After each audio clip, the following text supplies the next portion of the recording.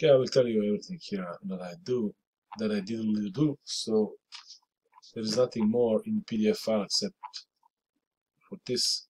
Not very happy with the second part of the solution, but it is what it is. Doesn't matter.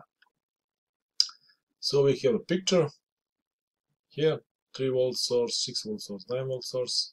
We have resistors here, and we have some E6, E3 currents. I don't know what that is, and I don't care. so each resistor is 10 ohms. How much current flows out of the 9 volt battery? battery? We need to find the current E1 more or less.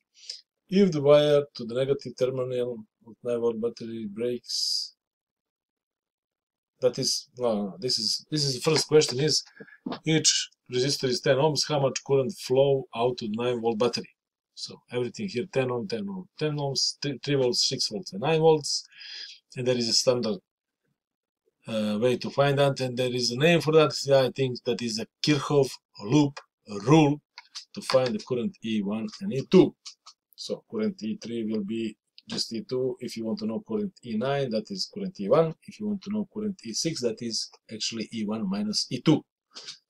If you want to know that things, but I didn't care too much about it So first we need to find how much current, actually what is the current E1 point. So what is the current E1? So using Kirchhoff loop rule, we rewrite this equation for the first contour that is 9 volts minus 6 volts. So this voltage minus 2 this voltage why is this is plus this is minus where this voltage pushes this current but this voltage actually will try to stop this current. So 9 volts minus 6 volts that is how I remember that is equal to what?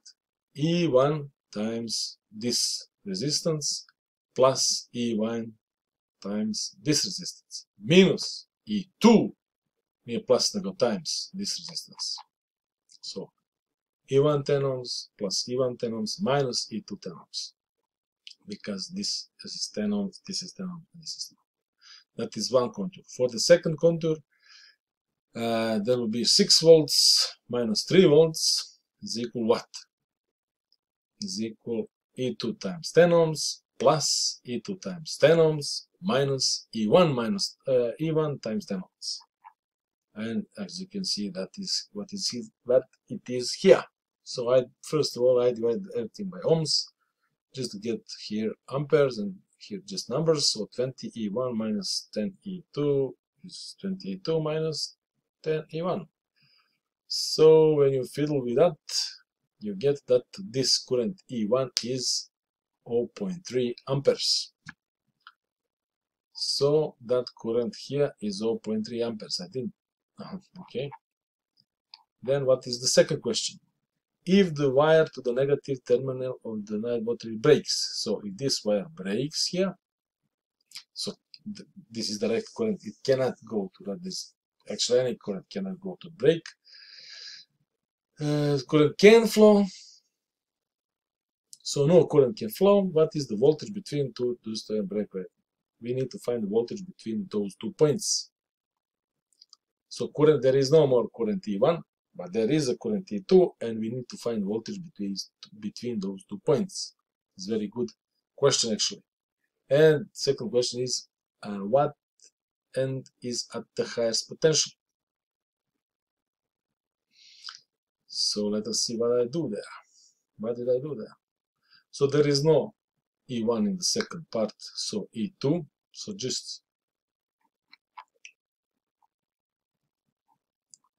current if there if there is this break there is just this current here and there is this voltage minus this voltage is equal E2 times 10 ohms plus E2 times 10 ohms that's all there is to it. So current E2 in this in this case is is is is is, is 0.15 amperes. So we have current here that moves around in this direction with 0.5 amperes. And we have resistance of 10 ohms here so I said these two points are at the 1.5 volts potential difference maybe it is maybe it isn't maybe it is, maybe it isn't. These two points are definitely on, on 1.5 uh, volts uh, potential difference, but what about these two points? There is a source here. Hmm. Doesn't matter. I just said these two points are 1.5 uh, volt uh, potential difference. These two points are at a 9 volts potential difference. So that means that these two points are at a 9 volt potential difference. So you have this point and this point is 9 volt. This point is this point is 1.5 volt. So this point and this point have to be 7.5 volts. With this on higher potential than this. it's not easy. That is my opinion. I could be wrong. I don't know. If you have a better idea, please do write in comments. I will give you an applause for better solution. Okay, thank you. That's all there is to it. Yeah, one more time.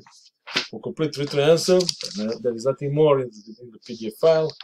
Uh, but for complete written answer, please follow the link in the description. If you want more of this, please subscribe and tell your friends. Thank you. Bye.